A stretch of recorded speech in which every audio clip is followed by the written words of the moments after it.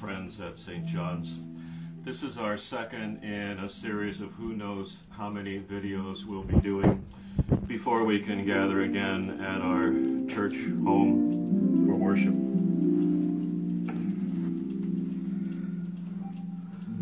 Your church council had a conference call uh, meeting this last Sunday, and all of them were present, even uh, one from Florida. It was so good to hear the familiar voices, to pray and plan together, even to share some laughs. What I want you to know is that your church leaders are amazing people of faith. They will get us through this crisis and help us recover when it is over.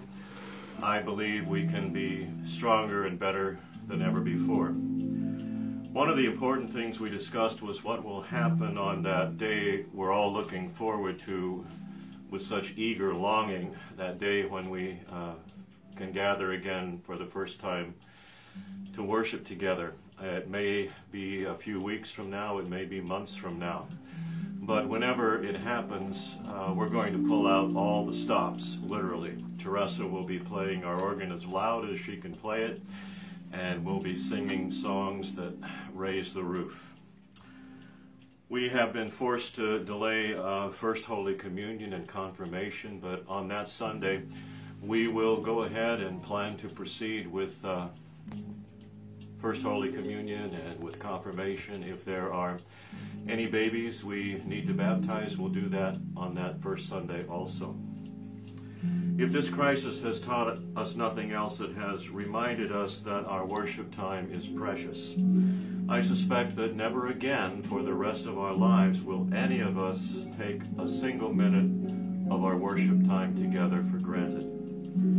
I want to share with you part of a prayer from the Lutheran Book of Prayer. It is entitled For Those Who Work in the Medical Arts. I think of medicine as a science, but in many ways it is indeed an art.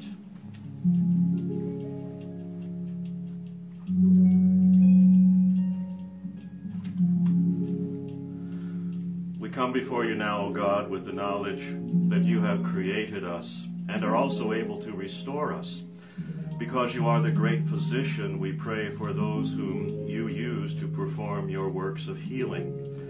We rejoice that your Spirit leads men and women to become doctors, nurses, dentists, research scientists, medical technicians, orderlies, and hospital staff members.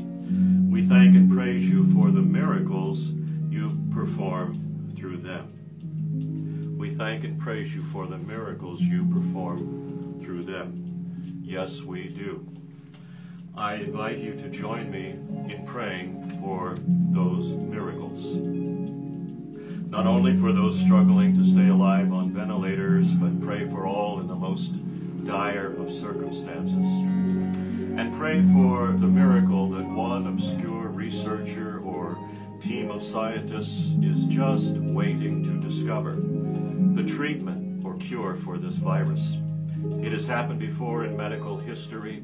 It will happen again. Somewhere, somehow, someone is now on the verge of a breakthrough we all need. Join me in praying that it will come quickly.